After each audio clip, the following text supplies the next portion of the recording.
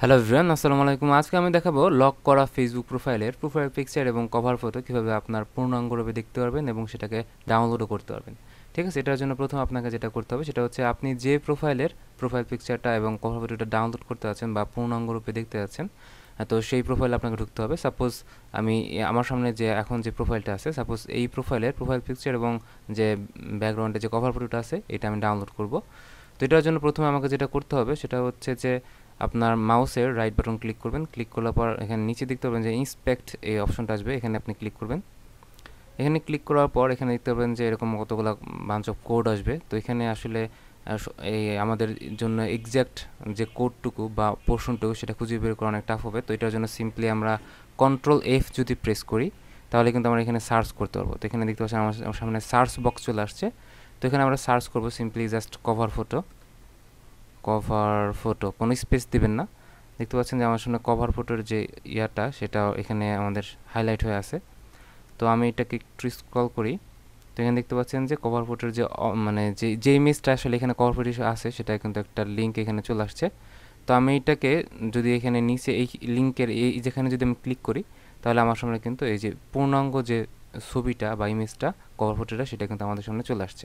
তো আপনি চাইলে এখান থেকে আরও জুম করেও দেখতে পারেন বা আপনি জুম আউট করতে পারেন বা এখান থেকে ডাউনলোড করতে পারেন। এখান থেকে সেম সেভ ইমেজেস দিয়ে এখানে আপ চাইলে আপনি ডেস্কটপ বা আপনার যে কোনো ফোল্ডার আপনি চাইলে এটা সেভ করে রাখতে পারেন। সাপোজ আমি এটা সেভ করে দিলাম। তো এখান থেকে আপনি চাইলে পরবর্তীতে আপনি কিন্তু চাইলে আবার এটা দেখতে পারবেন। ঠিক আছে? তারপর নেক্সট আমরা আসি যে প্রোফাইল পিকচারটা কীভাবে আপনারা দেখতে পারেন? তো প্রোফাইল পিকচারের জন্য জাস্ট আপনি যদি এখানে এই অপশনটাতে ক্লিক করেন। এখানে ক্লিক করার পর আপনার প্রোফাইল পিকচার যেটা আছে, এখানে আপনি মাউস কার্যটা নিয়ে আসবেন। তা, তারপর দেখতে পাবেন যে এখানে আপনার প্রোফাইল পিকচারে যে অংশটুকু যে লিঙ্কটা এখানে মানে অ্যাকচুয়াল যে লিঙ্কটা সেটা এখানে শো করবে।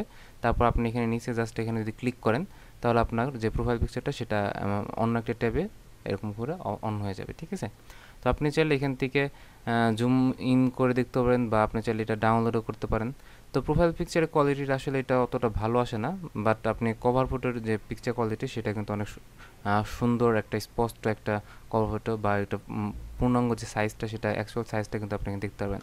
বাট প্রোফাইল পিকচারের ক্ষেত্রে এটা আসলে অতটা স্পষ্ট বা ক্লিয়ার আপনি ইমেজ কোয়ালিটি পাবেন না বাট কাজ চালিয়ে নেওয়ার মতো ছবি কিন্তু আপনি এখানে পেয়ে যাচ্ছেন। ঠিক আছে? তো আজকের ভিডিওটি এই পর্যন্ত। আপনাদের কারও যদি কোনো সমস্যা থাকে, কোনো প্রবলেম হয় আপনার এই কাজটা করতে, সেটা কমেন্টের মাধ্যমে জানাতে পারেন। আমি সেটা পরবর্তী কোনো টিউটোরিয়ালে বা কমেন্টে সেটা রিপ্লাই দিয়ে ফিক্স করে দেওয়ার চেষ্টা করব ইনশাল্লাহ আল্লাহ হাফেজ।